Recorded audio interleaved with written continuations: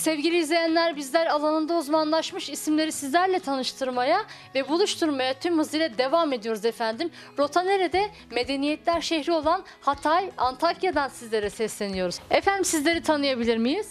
Ben Adnan Sakar, 72 doğumluyum. Aslen Antakyalıyım, Hataylıyım. Yıllardır bu dizayn tasarım işlerini yurt dışında gerçekleştiriyordum, yapıyordum. Ee, kısmetse artık e, Memleketinize kendi geldiniz. memleketimizde, kendi memleketimde inşallah e, en iyi bir şekilde halkımıza bütün salon tasarımları olsun, ev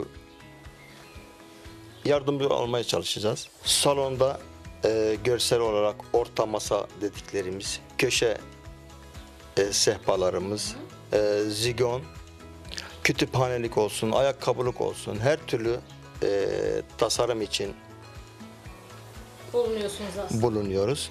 E, Bunların e, farklı modelleri, renk seçenekleri sınırsız. E, Ahşap, cam, mermer e, müşterinin isteğine göre bütün hizmetleri yapmaya çalışacağız. Efendim bizler dayınızı tanıdık.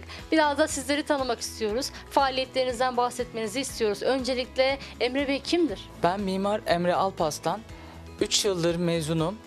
Mimarlık mesleğimi Antakya, Hat- Hatay Antakya'da gerçekleştiriyorum. Biz de mimari tasarım ve iç mekan tasarımları yanında e, kendi e, iç mekanda kullanılabilecek metal işlerini gerçekleştireceğimiz bir atölyemizi açtık. Yakın bir zamanda e, showroom'umuzu da açıyoruz. Showroom'umuz içinde benim kendi mimarlık ofisim de olacak. Hem mimari proje hizmeti vereceğiz hem de iç mimarlık tasarım proje, proje hizmeti vereceğiz.